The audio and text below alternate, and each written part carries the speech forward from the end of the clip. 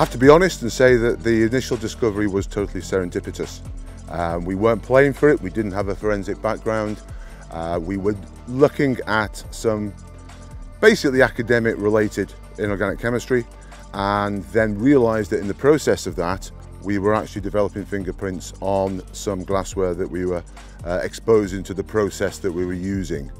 And then we kind of put two and two together, especially given that at that point there were a number of papers out in chemical journals where people were looking at new techniques to actually develop fingerprints. So that, that told us that this was an important consideration.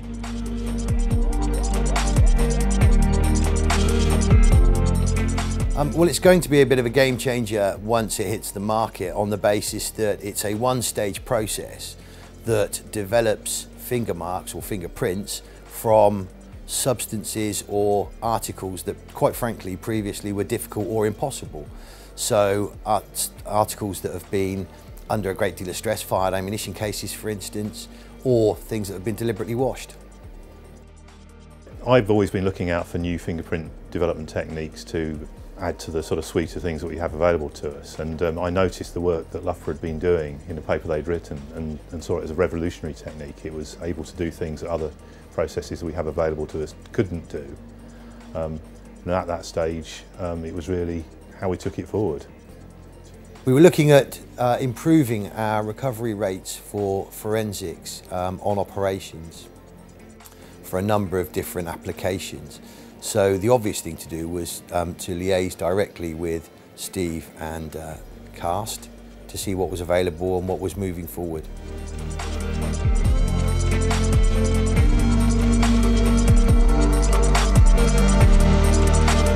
Think this project wouldn't have succeeded without a collaborative uh, approach. Loughborough were bringing the fundamental understanding of the chemistry behind the process, having been the developers, and also an understanding of novel chemistries that could be applied to the problem we had here. Um, DSTL had an operational need, an understanding of the, the operational context, and then more importantly, a project and the funding to drive it forward. And we bring to the party an understanding of the fingerprint development processes that the police forces are using operationally. And we have a real success in taking things from a laboratory concept to something which is operationally used and out there on the streets.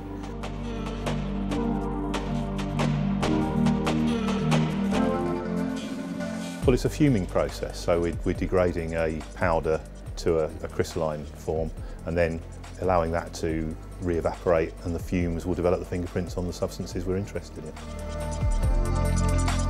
Yeah, we're looking at a fingerprint on a fired cartridge developed using the new process and I'm looking at it under a range of lighting conditions to see which gives us the best image of that mark. And we can see down to the finest level of detail in the fingerprint, even down to the pores, the third level detail. And why we're interested about this technique is it's capable of developing fingerprints on things that have been fired and washed, and there's no single process that can do that. Actually, this has been washed with acetone, so we've given it quite an aggressive clean as well as the, the firing conditions.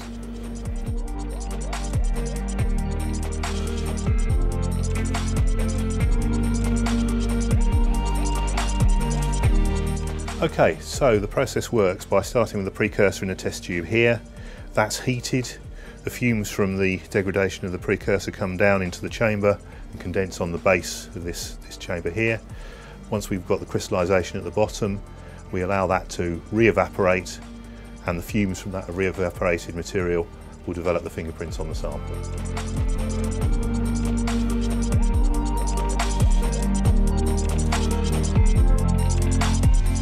Well, overall, it's been about eight years that it's taken us to do this and it's been interesting to work with people we've never worked with before.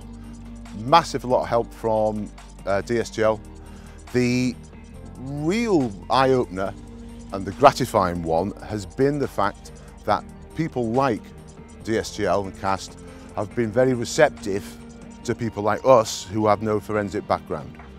And now there's a whole web of things with all sorts of different people around campus, around the department, uh, lots of different entities from Home Office to Heritage England and so on, just stemmed from that one observation of one sample vial with one fingerprint on it. There's a moral there somewhere.